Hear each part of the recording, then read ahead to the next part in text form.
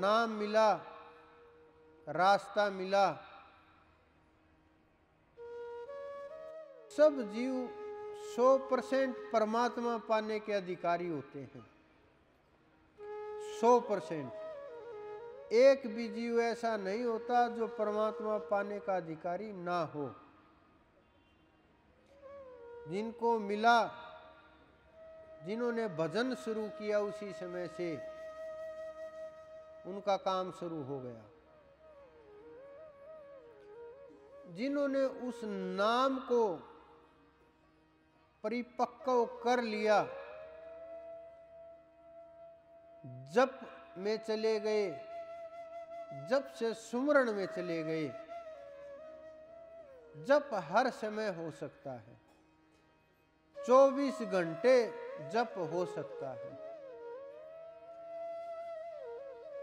सोते हुए भी जप हो सकता है। उठोगे तब भी जप होता हुआ मिलेगा। लेकिन सुमरण 24 घंटे उन स्थिति प्रज्ञ महापुरुषों का तो होता है, हो सकता है। करोड़ों अरबों में कोई एक। लेकिन साधारण साधकों को सुमरण 24 घंटे होना आसान नहीं क्योंकि सुमरण का पता होना चाहिए कि मैं सुमरण कर रहा हूँ। सुमरण चल रहा है।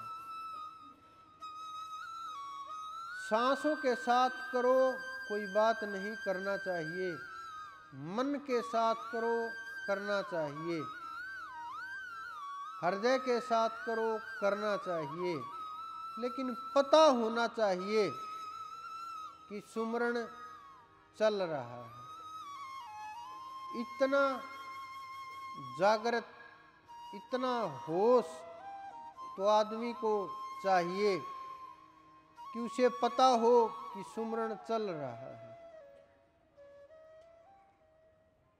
साँसें चल रही हैं, प्राकृतिक हैं। बहुत सी ऐसी चीज़ें शरीर में क्रियाएँ हो रही हैं। जो आप चाहो, ना चाहो तो भी होती रहेंगी। लेकिन सुमरण होश में ही होगा। हम सांसों के साथ कर रहे हैं तो हमें पता होना चाहिए कि सुमरण चल रहा है और सुमरण हो रहा है, पता होना चाहिए। समझो, जब आपका ये पता छूटा कि सुमरण हो रहा है, सुमरण छूट गया और आप अटक गए आप बैठे बैठे विचारों में खो जाते हो। बैठे बैठे ख्यालों में, सपनों में खो जाते हो। कई बार बड़ी मज़ेदार बात होती है। एक महिला आई मेरे पास। उन्होंने आकर के दंडवत प्रणाम किया। कई वर्षों से आ रहे हैं वो हमारे पास। करीब सात वर्षों से, सात आठ वर्षों से। दंडवत प्रणाम किया। उन्होंने कहा, जी, अनुभव हो गया। मैंने देखा कि चलो, अनुभव हो गया, अच्छी बात है, देख तो लेना चाहिए। मैंने देखा ऊपर से नीचे तक। मुझे थोड़ी हँसी आई। और मैंने पूछा कि परमात्मा को याद किए कितने दिन हो गए? उन्होंने कहा, अब तो जी समय ही नहीं, कई महीने हो गए नाम लिए। मैंने देखा, मैं ये सपने देखना अब तक तुमने छोड़ा नहीं है। उन्होंने कहा कि मुझे सपने में बड़ी चमकदार सा एकदम सा प्रकाश दिखाई दिया। मैंने कहा, फिर हो गई सिद्ध? कि जी, माफ़ कर दो। मैंने कहा, बेवकूफ़ बाहर बैठे हैं लोग, उनको बनाना। वो आपके बड़े खुश हो करके सुनेंगे। कई तो ऐसे भी बेवकूफ़ हैं जो तुम्हें ही गुरु मान लेंगे। ऐसे भी लोग हैं कि इसको अनुभव हो गया, इसी से पूछ लेते हैं गुरु जी के पास तो समय नहीं है। ऐसे भी बहुत लोग हैं और तुम्हें ही भरोसा करने लगेंगे कि इसे तो कुछ पता होगा। लेकिन नादान लोग जिन छोटी छोटी चीज़ों को अनुभव मानते हैं कि सौपन में कोई पहाड़ दिख गया, उसके ऊपर चढ़ रहे हैं कि मेरी तो चढ़ाई शुरू हो गई। दूसरा पड़ोसी कर ये बात सुन जाए तो बस कहना ही क्या। वो आकर के मेरे साथ लड़ने लगता, उसकी चढ़ाई शुरू करवा दी, मैं पीछे रह गया। मैं समझाता हूँ, भाई, ऐसे चढ़ाई नहीं होती कि नहीं जी, वो बता रहे थे, पहाड़ पर चढ़ रहा हूँ मैं। तो इस प्रकार की जब ये सोपन में चीज़ें दिखती हैं। कोई सोपन में अपना रस्सा बांधे हुए है कि आपने बोला था कि डोर पकड़ के चढ़ जाओ, कि मुझे रस्सा दिखाई दिया और चढ़ गया मैं। ये जो अपने मन माने ढंग हैं कि मैंने वैतरणी का वर्णन किया, बड़े खतरनाक जीव थे। अगजी मैं तो गौशाला में जाता हूँ, गाय आई, मैंने पूछ पकड़ी वैतरणी पार हो गई। जो ये कल्पनाएँ मानव के दिमाग के अंदर जो चलती है ना, जो ये मानव का दिमाग गुरु के साथ भी खेलने का प्रयत्न करता है,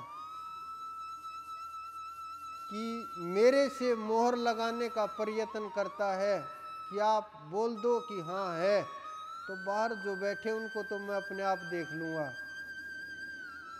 तो जो ये विचारधारा है ना, ये भक्ति नहीं है। ये विचारधारा मोक्ष के रास्ते तक भी नहीं जाती। ये विचारधारा आपको जीवन मुक्त नहीं करेगी। ये जो सौपन दिखते हैं ना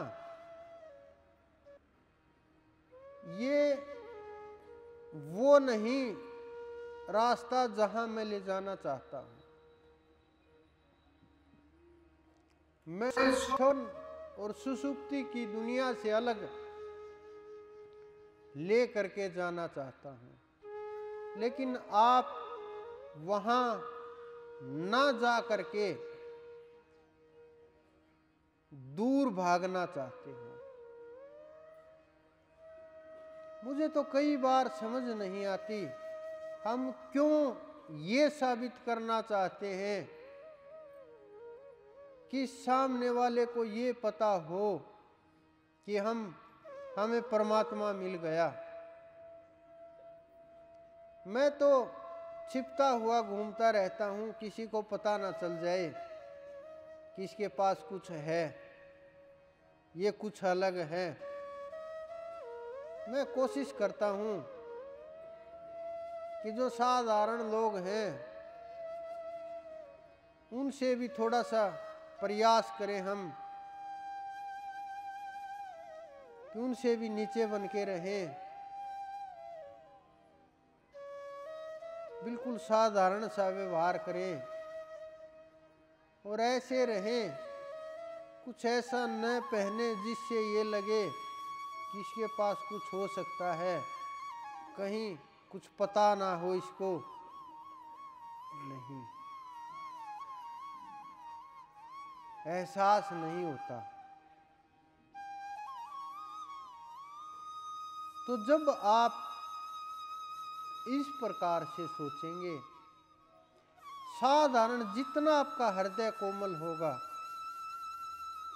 जितना सच आप बोल पाए, जितना सच के ऊपर चल पाए, जितना सच को समझ पाए और जी पाए, चाहे आप कैसे भी हों, कितनी भी कमियाँ हों, लेकिन सच स्वीकार करना, कोई भी कमी, कोई भी कमज़ोरी, कोई भी बुराई, ऐसी नहीं।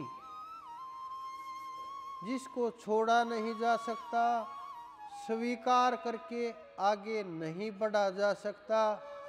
सत्य के अंदर जो मजबूती है, वो बहुत मज़बूत है। वो ताकत आपको आत्मविश्वास अलग ही पैदा करेगी। जब आपको प्राप्ति होगी, आपको बताना नहीं पड़ेगा मुझे कि मुझे प्राप्त हो गया। मुझे पता चल जाएगा कि हाँ उस जीव के ऊपर कृपा हो गई। पता चल जाएगा मुझे। अगर मुझे ना भी पता चलेगा तो वो ऊपर बैठा है। वो मुझे उठा करके बता देगा कि उठ लो, उसको हो गया उसका काम। इतना जुड़ाव है मेरा, मेरे गुरु के साथ। और उसके आदेश के बिना हम कोई कार्य नहीं करते।